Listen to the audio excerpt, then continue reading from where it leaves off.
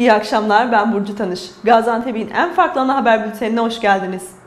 Güneydoğu Anadolu Hububat Bakliyat, Yağlı Tohumları ve Mamulleri İhracatçılar Birliği Genel Kurulu yapıldı. Mahsum Altunkaya tekrar başkan seçildi.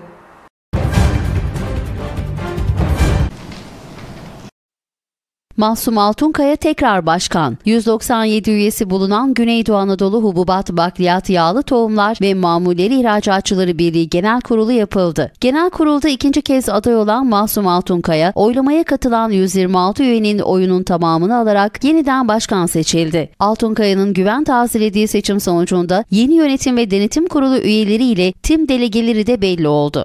belirli şartların yerine getirildiğini Meral Akşener liderliğindeki İyi Parti'de hareketli anlar başladı. İyi Parti İl Başkanı İzzettin Şahin ile İl Başkanı istifa ederek milletvekili aday adayı oldu. İyi Parti seçim startını verdi. CHP'den 15 milletvekilinin istifa ederek İyi Parti'ye geçmesiyle seçimlere katılmadaki önündeki engel kalkan Meral Akşener liderliğindeki İyi Parti'de hareketli anlar başladı. İyi Parti İl Başkanı İzzettin Şahin ve İl Başkan Yardımcıları Avukat Oğuz Hocaoğlu ve Nermin Tuzcu görevlerinden istifa ederek milletvekili aday adayı oldu. İyi Parti'de ilk adım İl Başkanı İzzettin Şahin ile İl Başkan Yardımcıları Avukat Oğuz Hocaoğlu ve Nermin Tuzcu'dan geldi. Kurucu İl Başkanı olan ve ilk kongrede yeniden güven tazeleyen Şahin, il başkanlığından Hocaoğlu ile Tuzcu'da il başkan yardımcılığı görevlerinden istifa etti. Parti binasında açıklama yapan 3 milletvekili aday adayları, Türkiye ve Türk insanına daha rahat, güvenli, huzurlu gelecek sağlamayı vaat eden İyi Parti'den 24 Haziran'da yapılacak genel seçimlerde milletvekili aday adayı olmak için istifa ettiklerini açıkladı. çok kıymetli, değerli arkadaşlarımız. Burada toplanmamızın sebebi 24 Haziran 2018 yerel seçimleri genel seçimlerinde milletvekili aday adaylığımızı açıklamamızdır. İyi Parti Türkiye'nin ihtiyaçlarından doğmuş, Türkiye için kurulmuş bir partidir. AK Parti 2002 yılında Türkiye'nin ihtiyaçlarından doğdu. Karanlıklarda doğdu. Umut olarak doğdu. Özgürlüklerle doğdu. iyiliklerle doğdu. Ancak gelinen süreçte PKK ile oturdu, kandırıldım dedi. FETÖ'yle işbirliği yaptı, kandırıldım dedi. Ne istediniz de vermedim dedi, kandırıldım dedi. Kobani'ye PYD'yi zılgıtlarla gönderdi, kandırıldım dedi. Aslında kandırılmadılar. Görevlerini yaptırdılar.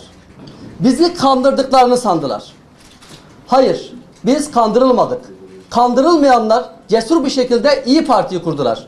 Meral Akşener'in önderliğinde Türkiye'yi kurtarmaya aday oldular. İyi Parti'ye üye olanlar kameralar alındı. Fişlendi. Hala fişleniyor. Yarın da fişlenecek. Korkmadılar, korkmuyorlar, korkmayacaklar. Biz kandırılmadık.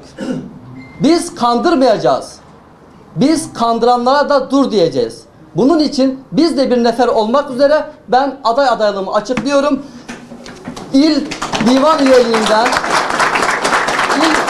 yönetim kurulu üyeliğinden 25 4 2018 tarihi itibariyle istifa ediyorum. Malumunuz ülkenin içinde bulunduğu durum gereğince erken bir seçim kararı alındı ve İyi Parti'de bu seçim startında ülkenin umudu olarak, ülkenin güneşi olarak her geçen gün şavkını genişleterek, ufkunu genişleterek halkın ve seçmenin gönlündeki yerini her geçen gün büyütüyor.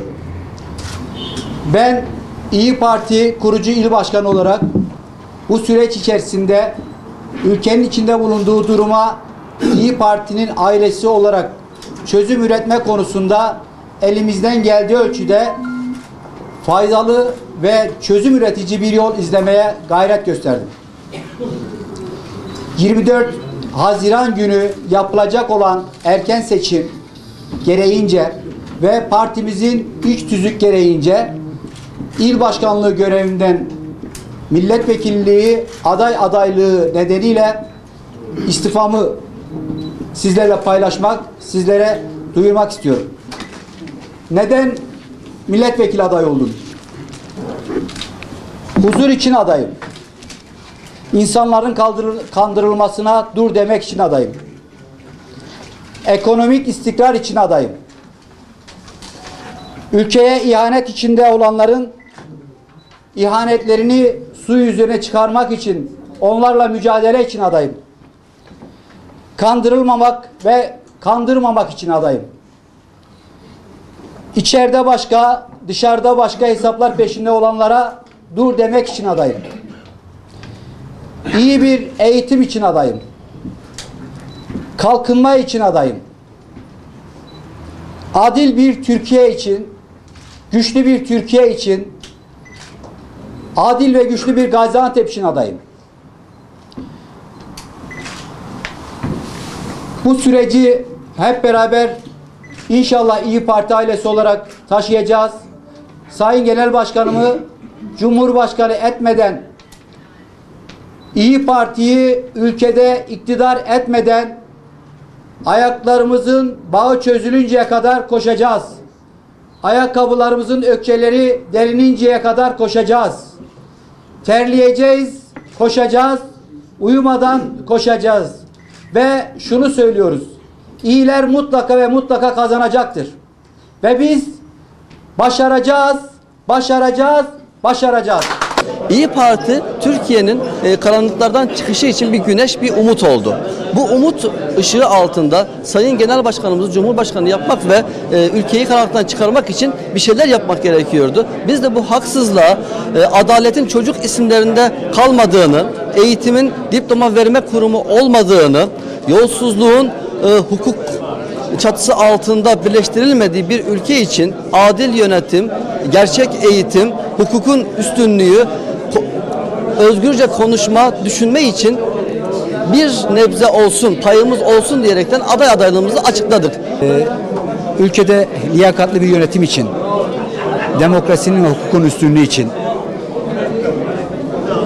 yaklaşık olarak 30 yıl aşkın sivil toplum örgütleri ve siyasi bir deneyimi, deneyimimin olduğunu düşünüyorum.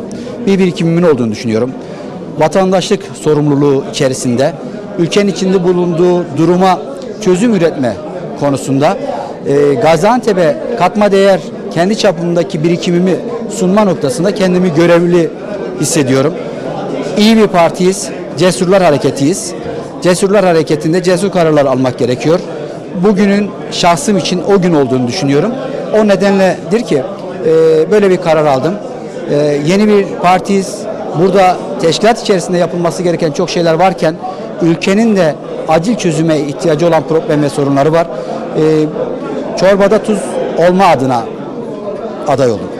İyilik için, iyi bir Türkiye için, çocuklarımızın, gençlerimizin, kadınlarımızın, Türkiye'mizin geleceği, güzelliği, iyiliği için 24 Haziran milletvekili seçimlerinde ben de adaylığımı koyuyorum. Bir kadın olarak Gaziantep'ten adayım. Bütün aday arkadaşlarımın hepsine başarılar diliyorum. Yolumuz açık olsun. Allah yardımcımız olsun. Güneydoğu Anadolu Kuru Meyve ve Mamulleri İhracatçılar Birliği başkanlık seçimleri tamamlandı. Sarı listeyle seçime giren Mehmet Çıkmaz 112 oy alarak başkan seçildi. Güneydoğu Anadolu Kuru Meyve ve Mamulleri İhracatçıları Birliği başkanlık seçimleri tamamlandı. İki liste halinde gidilen seçimde 219 üyenin 211'i oy kullanırken 3 geçersiz oy çıktı. Seçime sarı listeyle katılan Mehmet Çıkmaz seçimi 112 oyla kazanırken seçime beyaz listeyle katılan İbrahim Türkkan 96 oy aldı. Seçim sonrası her iki aday birbirini kutlayarak sonucun hayırlı olması dileklerinde bulundu.